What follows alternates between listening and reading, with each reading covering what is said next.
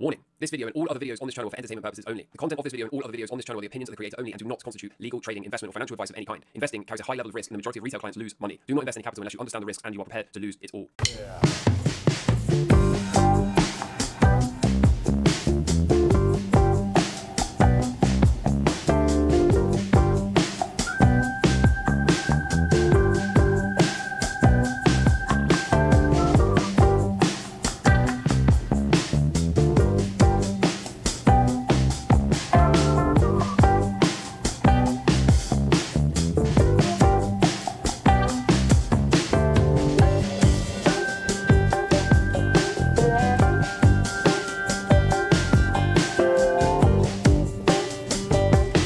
right, hello and welcome to Camel Finance. I'm your boy Camel, and I've got some pretty interesting charts to show you today. I've got a couple of questions that I wanted to spend just two minutes on to clear up since a lot of people had these same questions. Before we get into today's episode, I wanted to give a little shout out to Gizmo XXL, who has been responsible for producing all of the Camel Finance theme songs and AI generated tracks. As per the request of many of you guys, Gizmo is now on Spotify. So please, please, please go ahead and give him a follow on Spotify. I will leave a link in the description and the pinned comment. Just before we get into today's episode, a lot of people were asking me how is it that we can show data that shows whales are accumulating Bitcoin in size and yet the price keeps dumping? And first of all, I think it's important to point out okay, price is not actually dumping. If we look at the year to date data for Bitcoin, it's up 33%. And since the macro bottom, since the bear market lows, it's up 257%. Okay, so saying that the price is dumping is just not really the case, is it? Okay, this is quite clearly a bull flag or a sideways range, whatever you want to call it. Okay, and it's more than to be expected to have a 20 to 30% correction after a 250 odd percent move. Okay, so if we zoom out and look at what's going on here, okay, this is a highly volatile asset. There are going to be pullbacks and shakeouts along the way. So you can term it dumping if you want. I personally don't consider this to be a dump. But the question remains, okay, how is it that whales are allegedly accumulating Bitcoin, yet the price is dumping? And so I thought I would share with you my theory for this, okay? First of all, for Bitcoin, there's just not that much supply. Over 70% of it is held by long term holders. The free float of Bitcoin is only around 2.5 million coins, right? Large players can't just walk into the market and buy at market, right? They can't just accumulate a huge position in multiple thousands of Bitcoins without forcing the price to move significantly to the upside and thus they don't get the price they want. So the way that we free up the limited supply is to have this horrible choppy range of about $20,000. So we had a high of something like 73, 74k and a low of about 49k and the price just keeps bouncing around this range. And the reason for this is because this is how we free up the supply to hand it over to the whales that want to accumulate a position, okay?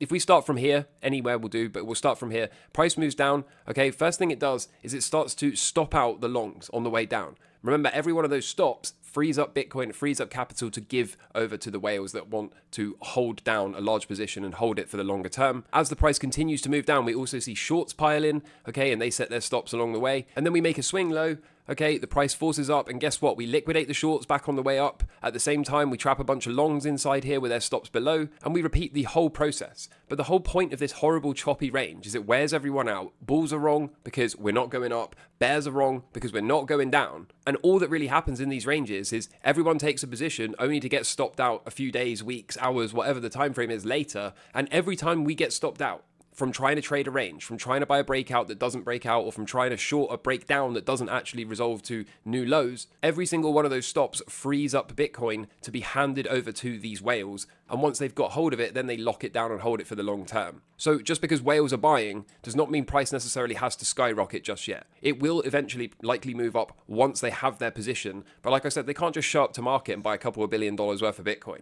They can't do that, okay, because it would cause this huge price slippage. They would have to be buying little chunks the whole way up, and their average would be terrible. Versus they can have this huge kind of range, like I said, that wears everyone out and stops everyone out a million times over. And every time somebody gets stopped out, every time somebody's leveraged account gets liquidated, where do you think that money goes? It goes to the long term holders, it goes to the whales. But for me, I think the key point here is the whales are indeed accumulating. We can see that on the on chain data. And if they're accumulating in this range, does that not suggest that we are likely going to get a range break to the upside in the not too distant future. I think it does personally. That's just my two sats. And some other people were asking me how to add to positions on the way up, how to increase exposure whilst maintaining risk management. And the idea for this is pretty simple, okay? Don't overthink it. If we buy a breakout back here, like we did live on the channel back at the time, okay, we bought this breakout, we had to stop somewhere a little bit below, and we started to ride this first trade higher, okay, then all we have to do is make sure, number one, the risk is managed on the first position, and once it becomes in profit enough to justify having a second position on, okay, so if I zoom in here a bit,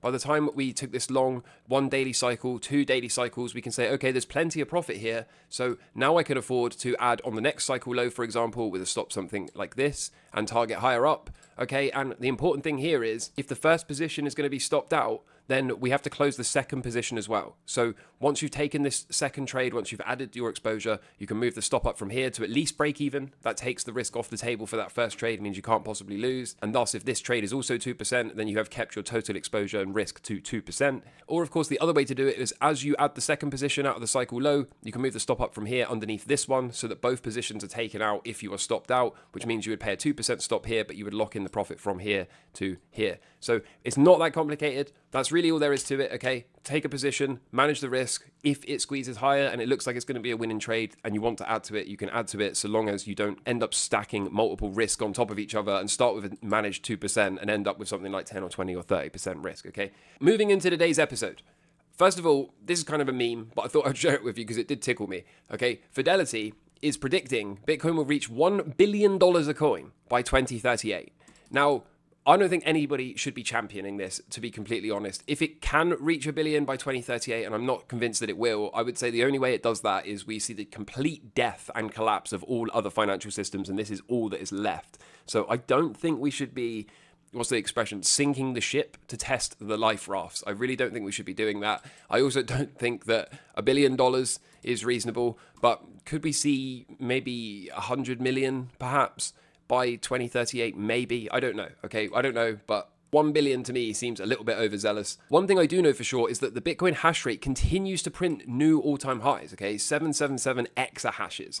So, generally speaking, price follows hash. Hash continues to move up. And the reason for this is quite simple, okay? This represents capital expenditure and investment into the network. It also represents network growth under the hood, whilst everyone's getting bearish and trying to call tops and blah, blah, blah, okay, this thing is still being adopted. Miners are still plugging into the network. The network is still growing. And more importantly, the network is becoming more and more secure by the day. That means, at least from a miner's perspective, they believe this network is something that is worth investing in. They believe they want a piece of it. They believe that this is a good business model to be plugging in here to try to secure the network and, of course, reap the reward from block rewards and fees. This is pretty bullish. Meanwhile, a whole heap of people are pointing at this data for Bitcoin, which shows September is a seasonally weak period for Bitcoin. Okay, here's September, as you can see, and most of the time we have a red September, suggesting that we may well see continuation of downside into this month. But we have got a few points in our favor to suggest that might not be the case this time around. We might have one of these blue months because number one, the month is already starting on a low note, and we've got plenty of upward catalysts ahead of us,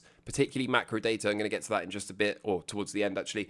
And if everyone is expecting it, it's probably less likely to happen. Not to mention, as CryptoCon pointed out here, okay, we are just doing the exact same thing that we did back in 2023 today, albeit a month behind schedule. So you can see here we went sort of February to March, April to June, June to July, August, September. I said June to July, didn't I? July to August, August to September, and then out of September we rallied through October. And if we look at what's happening today, we went Jan to Jan, we went March to May, June to July, July to August, telling us to keep an open mind to seeing September not actually be seasonally weak as we're used to, but instead to seeing Bitcoin rally. When we zoom out and look at the bigger picture, okay, this is the current cycle in white. You can see that back here, we got a little bit overextended, okay? Back here, we made a significant run up above the prior two cycles in green and blue. And so since then, whilst everyone keeps saying the price is dumping, I make the case that this has been a very orderly walk down and actually a reversion to the mean. We got way, way, way extended. I mean, if you look at the gap between the white and the blue cycle, Okay, we got way, way, way ahead of schedule. I mean, we saw an all time high before the halving as well. Okay, that was new. A lot of people thought that was impossible. So, does it not make sense that what we're seeing is this orderly walk down, a reversion to the mean? And now, look where we are. We're right back on schedule.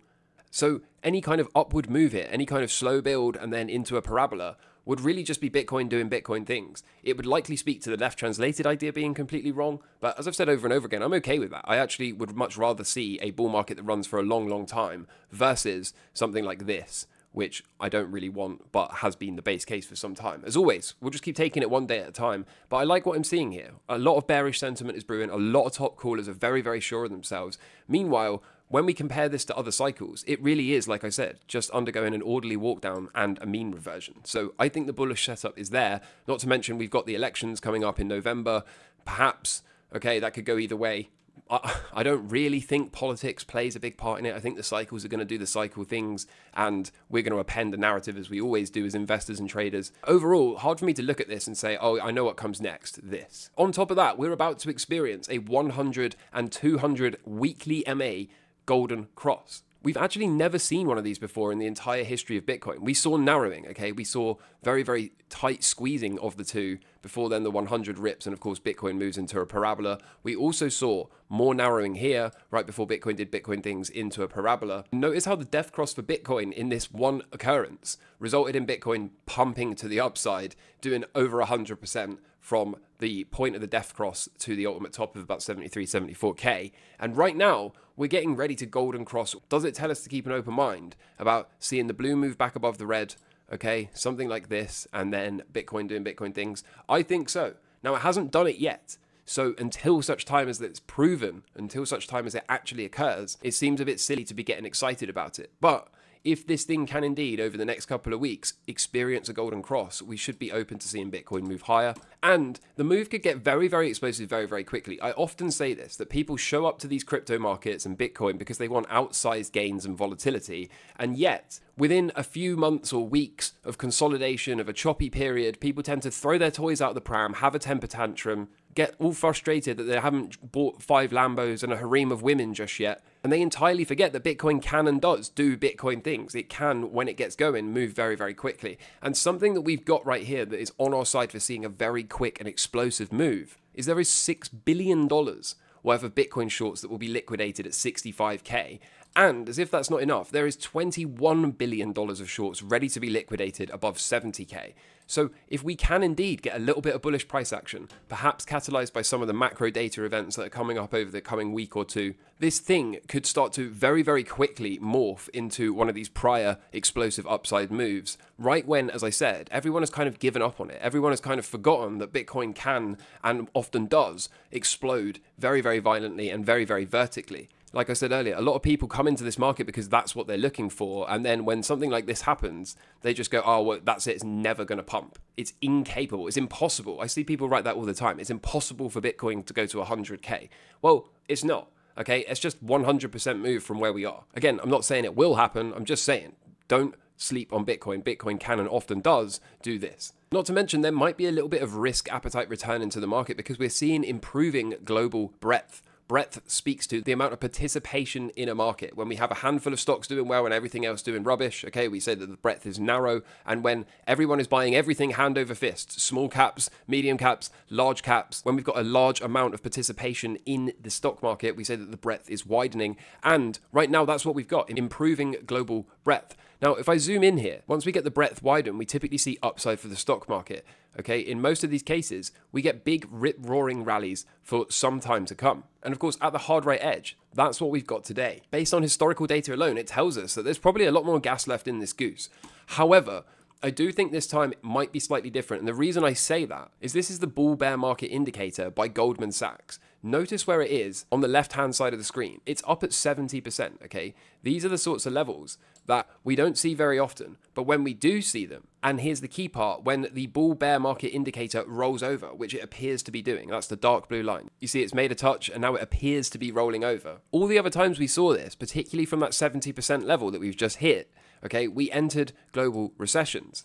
It was the GFC, here was the dot com bubble. If this metric is going to continue to roll over, Okay, it tells us to keep an open mind about seeing a bear market show up, as well as a global recession. Look at this in blue, a world bear market. Meanwhile, as I said, we've got a lot of important macro data coming out. On Thursday, we have got initial jobless claims. Okay, so that is likely going to be a major market catalyst. And then next week, on the 11th, which is Wednesday, we happen to have the CPI data coming out. And I sit here and still maintain that the majority of the market participants have gotten this wrong. They are looking at this right here, which is the 70s compared to the 2020s, where inflation in red back in the 70s had this big spike, a cool off, and then resumed to the upside quite violently. And I think people are continuing to make the same mistake with the blue, which is the current CPI cycle. They are suggesting that just because it is tracked so far, that we are going to see something like this occur. And a lot of people are saying that the Fed, therefore, if it starts to cut rates, in September the 18th meeting, as it is expected to,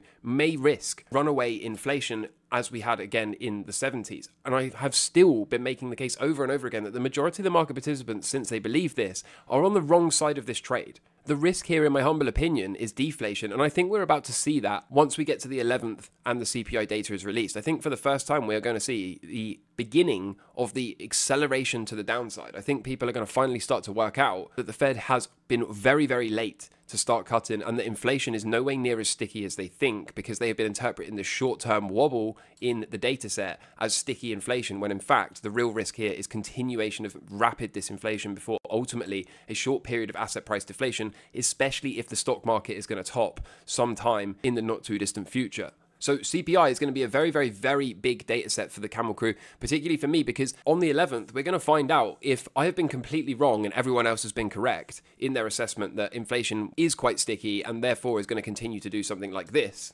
Or conversely, we're going to find out if indeed everyone else is wrong and the real risk here is disinflation and deflation, which I think is going to show up. I really do think this is going to show up. And if it doesn't show up, then of course I am wrong. But based on all of my analysis, this upcoming CPI print should be the print that reveals to the rest of the market they have indeed been positioned wrong. So it's going to be a very, very, very big print on the 11th. We'll go live for CPI as we always do. And in the meantime, it's just going to be a case of seeing how this week unfolds.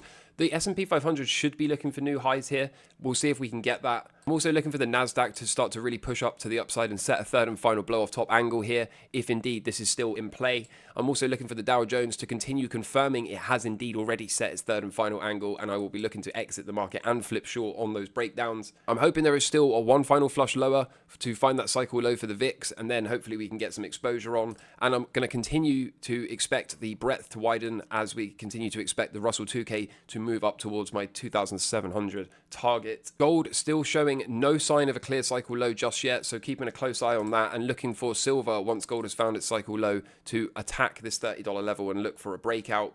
Meanwhile, Bitcoin continues to just chop and range, but as I've showed you so far today, I think slowly but surely we're going to start to see the tide turn here and we're going to start to see a direction change towards the upside. I think those shorts are ready to be liquidated, starting at around 65k are a sitting duck. And I really don't think it's going to be too long before we start to punish those people for shorting Bitcoin. We might have to work out a little bit of short term volatility in the meantime and a bit of chop since the Dixie is in the middle of putting in a counter trend bounce. But I would expect this daily cycle to left translate and then roll over one final time We'll see if we can get that. And I think the same is true of the yields. We're getting this kind of counter trend bounce. To me, it looks like it wants to move lower, particularly if it knows rate cuts are coming in about two weeks' time. Is it two weeks? Two and a half, something like that. So again, in the short to medium term, we could get these little bits of wobbles in the dollar and in the yields, and that could put pressure on some of the risk assets, Bitcoin and gold et al. But overall, I do think the trend remains down. It seems silly to be trying to call bottoms here, especially with the rate cuts just around the corner. I kind of expect this week to be a bit boring, but I think things should start to heat up as of next week when we get the CPI. Other than that, I am still kind of taking it cautious. I'm not all in here. I'm still gradually building the exposure as the market proves itself to me. I'm still hyper aware that we could very quickly morph into some very, very bearish looks. And then when we look at all the recession data and the Goldman Sachs bear market indicator that I showed you earlier, that, you know, there's plenty of signs here that if we are to get a rollover, we'd be able to look back at them and say, well, that made a lot of sense. So I'm by no means putting my feet up on the desk, max long, blindly waiting for a rip roaring bull market. I'm, as ever, taking it one day at a time and being cautious. Overall, I don't really see a great deal to be too concerned about in the immediate term. Of course, if things change, I will let you know in tomorrow's video. And until then, take care from me. All the best. Cheers. Bye.